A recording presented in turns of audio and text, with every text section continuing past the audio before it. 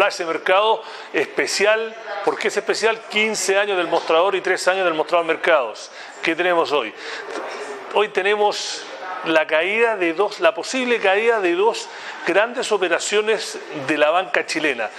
Una la operación del BCI de hace dos años, el anuncio que hizo de que compraba un banco en Estados Unidos, en Miami en particular, que era parte de una filial de Bankia, el gigante español, que era el sueño americano de Luis Enrique Yarur, el primer banco que iba a tener licencia, o que todavía podría tener licencia para operar en el mercado financiero más grande del mundo, Estados Unidos. Y el otro, la gran operación, la novena más grande en la historia de América Latina, que se anunció hace 14 meses entre Corbanca e Itaú. No, ambas operaciones están en la cuerda floja. Ayer se supo de que las autoridades americanas tienen problemas con la estructura aguas arriba de las sociedades de cómo Yarur controla el BCI y eventualmente podían negarle la licencia. ¿Qué significa eso? Que tendría que caerse la operación. Bankia, el CEO de Bankia dijo en una entrevista ayer de que si en un mes no se concretaba iba a buscar otro comprador fueron casi mil millones de dólares los que pagó Yarur por el banco ese y sería un, rudo golpe a sus ambiciones de expandir al BCI, que es el único banco 100% chileno que está quedando entre los grandes de Chile.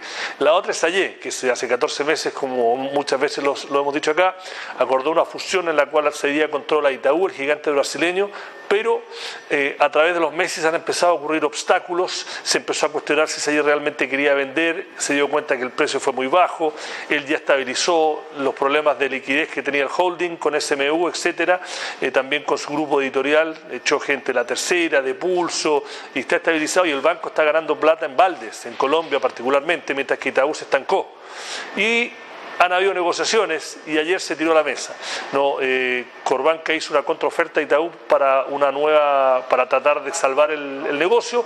Eh, esto venía, que Itaú venía presionando, había subido, su, había mejorado la oferta inicial eh, y Corbanca hizo una contraoferta que Itaú rechazó se va a citar a junta de accionistas y en esa junta de accionistas que se necesitan dos tercios para que se apruebe, probablemente no se apruebe porque se han visto muy pocas fusiones en las cuales cuando una de las partes no la recomienda y nosotros tenemos entendido, fuentes nos dicen que el directorio de, Corbanca, que se reunirá el viernes, no va a recomendar, aunque por pacto accionista las acciones de Salle tienen que votar a favor de la operación, pero necesita dos tercios.